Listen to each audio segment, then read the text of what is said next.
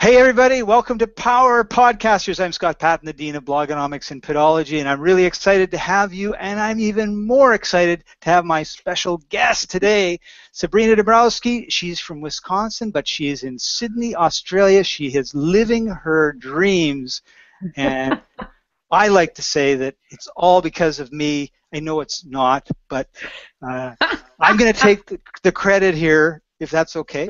Hey Sabrina, how are you doing? That is a great intro, Scott. Thank you. I don't know if I can live up to that, but I'll certainly try. Well, you you started a podcast and it was Sexy in Six, and then you started another one, Get Fit to Get Laid, and yes. that changed everything. So before we get into those specific topics, how did you get into podcasting? Well, there was this guy that I met in a mastermind business group. His name was Scott Paton. Yeah! he is up giving a presentation on how podcasting is changing the way things work, marketing works, business works, how you can attract clients. And I start off listening to this going, hmm, by the end of this talk, I'm literally vibrating in my chair, shaking, going, I have to do this. I have to do this. Oh my gosh, how do I how do I work with Scott? that was my first introduction to, I guess, learning about podcasting. Now, I think just after that, or Scott, I can't really remember, just before that, Scott this was a life-changing event, and you don't remember? Scott, I don't remember climbing the mountain. I don't remember if it was before or after the vibrating in my chair bit. so Scott takes me up. We're on a hike. This hold, is during that hold it, hold it, hold No, no, no. You're the fitness like diva.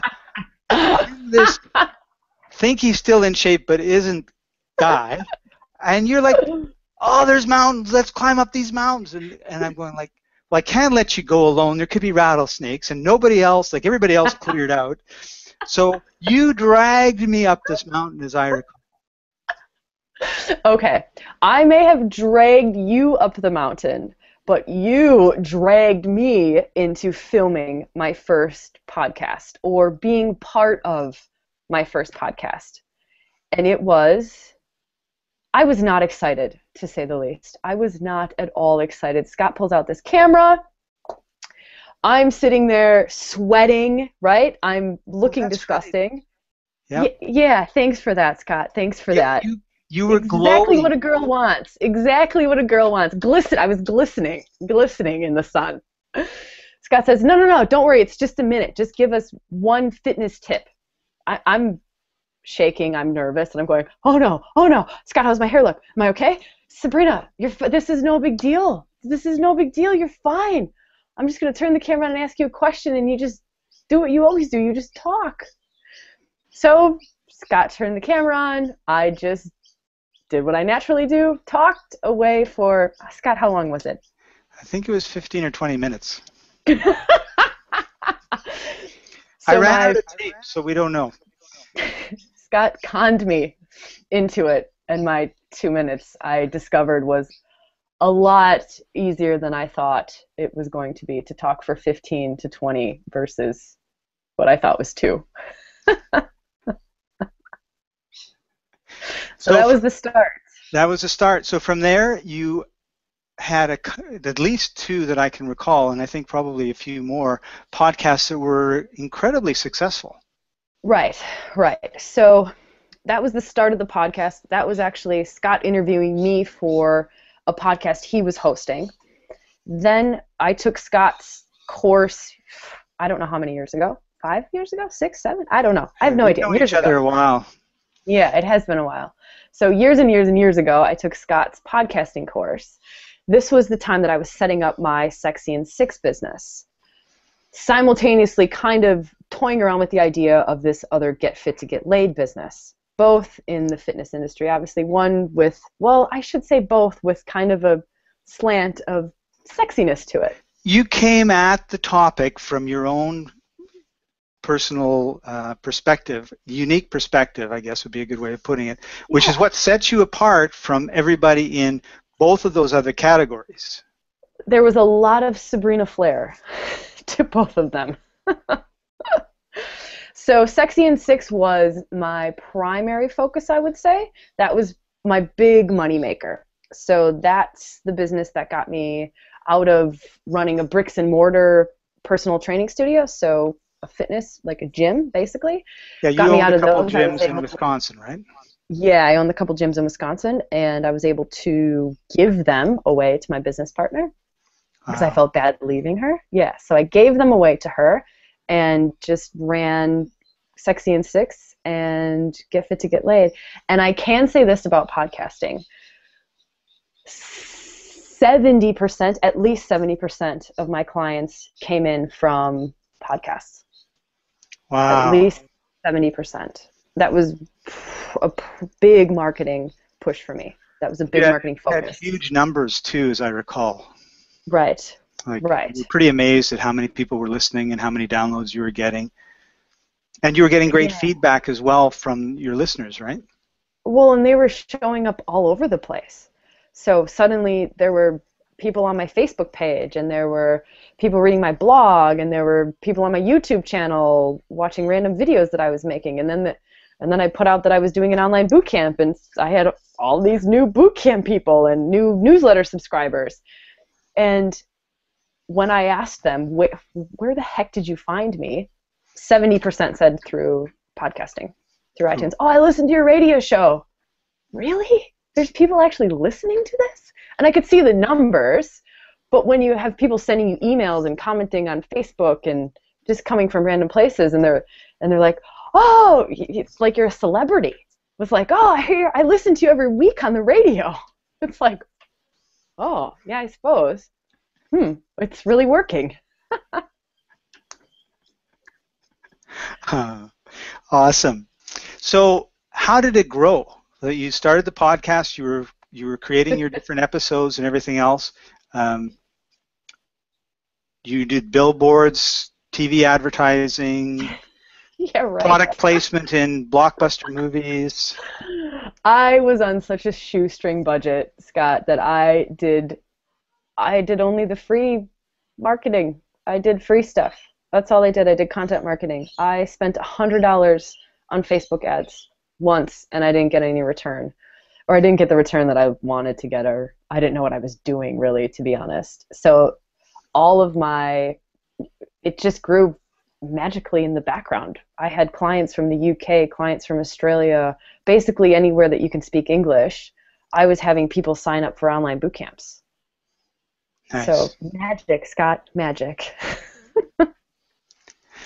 so one of the problems with podcasting, of course, is you need this massive studio. You need ten thousand to hundred thousand dollars worth of sound equipment. You need soundproof walls uh, and everything else. So it really forced you to s- stay in one place in, in order for you to be able to do your weekly show, right? Or it was me traveling through Asia on a motorbike, for instance, and holding up my iPhone and recording a video of myself and that was it. I traveled Asia. I think I was there maybe three weeks, and I did all my podcast shows from the middle of Laos. Like as long as I could find an internet connection, I was able to do all my podcasting and even do my online boot camps. So filming crazy fitness videos in the middle of Cambodia was pretty wild. wow, that's great. So that was really it. It was just my Mac. So I had my Mac too. So it was the Mac so that I could do any of the processing that I needed to do, and then just my phone. That was it. Wow. So you really had a uh, the, la- the laptop lifestyle where you could go wherever you wanted to go. Your business came along with you, but you really didn't yeah. need very much. Look, I've been a gypsy for the last six years, and that's just how I've always run my business. Is minimum I don't want all that stuff to haul right. around. This way I can travel to Asia and I can move to Australia and just yeah, yeah, yeah. So simple. Keep it simple. Keep it simple. Cool. So you're in Sydney, Australia now. You grew up in Wisconsin. Interesting change. Everybody wants to know, like, why did you pick Australia? Like, how did that happen? It couldn't have just been. And before we went on the air, I said, well, obviously you you had this lifelong dream to live in Australia, and because of podcasting, you were able to uh, make it come true. Yes, there were a few other factors in there, but look, when you do say lifelong dream, I do remember being a little girl in the middle of January in Wisconsin and going, someday I'm going to live where there are palm trees. So I suppose, in a way, I have kind of always had a lifelong dream. I didn't know I would end up on the other side of the world in another country, but I came here five years ago and absolutely fell in love with the place and haven't haven't been able to leave. so my business just transferred over to here. So I was still running Sexy in Six, still doing all my podcasts, still doing everything from Australia. And then now it's branched out into other businesses here. But yeah. No, cool. Yeah. So one thing that I'm really curious about is whether the podcasting ever got you any radio or TV or newspaper exposure because uh, one of the things that I think of in terms of podcasting is it's great practice and great exposure for uh, being an announcer on a radio station or that sort of thing. Right. I remember, Scott, you saying to us in the podcasting course that I took, people will find you. And I thought, that's pretty crazy, but cool. If that happens, very cool. I got an email, and the subject of the email was Playboy Radio. I don't even know what else. Da da da da da. I thought it was spam because it says Playboy. I'm thinking it's them selling me some sort of sex something. But I open it just in case. Dear Sabrina, we found your podcast on iTunes and we love the content. We love what you're doing. We'd like to talk to you. Is this for real? Playboy Radio? So call up the number, get a hold of the producer, and start talking about the show. This was Get Fit to Get Laid. Start talking about Get Fit to Get Laid. I said to him, Well, do you want to go through like some sort of interview questions? Like, do you want to ask me anything? He's like, no, we've listened to all of your shows. We know everything we need to know. We don't need to know anything else. We know everything about you. Everything's online. Your show's there. We know. We just want you to have your show on Playboy Radio. And, you know, how can you turn that down? so I hosted a few shows on Playboy Radio for them as a guest radio show host. I'm not even sure what I was, but it was under the Get Fit to Laid title. So yeah, that was wild, wild. Nice. that would be really a pretty exciting experience. I was on the Playboy channel. Was really happy. My grandmother was really proud. I bet she was. I bet she was. so Sabrina, tell us a little bit about what you're doing now. Well, Scott, I am about to start up a new podcast under North Tracks Training and Development. So now I've shifted over into more, hmm, I guess it's more interpersonal communication skills and mm, fitness of the mind, I would say. Mm-hmm. So really want to bring more of that into the world. So, podcasts coming out, along with a lot of online courses and a couple of in person courses, I think, here in Sydney. Oh, cool. Which is exciting. A good place to be, an exciting place to be. All right. Well, Sabrina, I want to thank you very much for your time and, and spending time with us and sharing everything that you've shared. And my last question of the of, of this time with you is a simple one. What sort of advice would you give to someone who's thinking of starting up a podcast or just starting up their podcast? I would, there's a lot of advice that I'd like to give. One piece of advice I definitely want to say is it's a lot easier than you probably think it is. You'll get a lot more out of it than you probably think you'll get out. It's just surprising the results that you'll get and what will happen if you stay dedicated to it. If you commit to doing it, you know, I think Scott, you say you recommend doing it on a weekly basis. I would absolutely recommend sticking to that and just do it. Give it time and see what happens because you'll see numbers that you just never expected and people will show up from all over the world wanting to buy something from you.